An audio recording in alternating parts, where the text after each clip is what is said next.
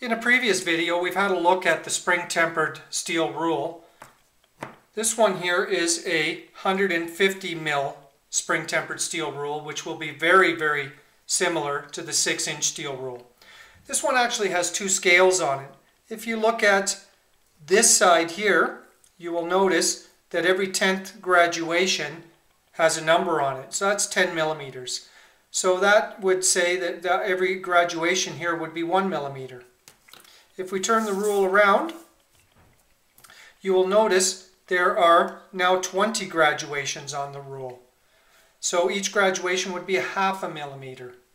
And then one full millimeter, millimeter and a half, two millimeter, up to 10 millimeter. Then eventually all the way down the rule to 150 mil.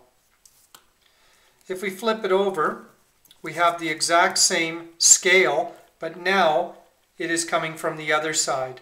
So we have half millimeter graduations on this side, going 10 millimeters from left to right to 150 millimeter. And if we turn it around on the last scale, we have full millimeters. So each graduation is a full millimeter. Each tenth one is 10 millimeters, 10, 20, 30, all the way up to 150. This rule will come in many different lengths. 150 mil rule is very common. It fits in the machinist's pocket quite nicely.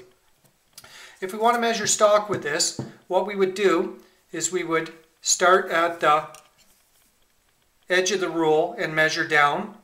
And if it lined up on the full graduation side, that's what we would do. If it was halfway in between the graduation, we would check the half millimeter side.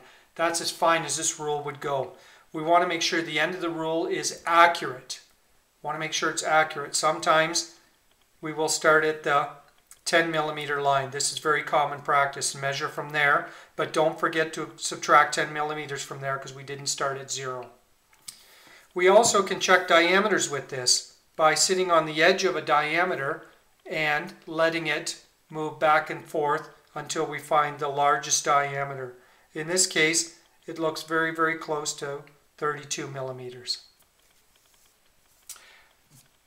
150 millimeter spring tempered steel rule.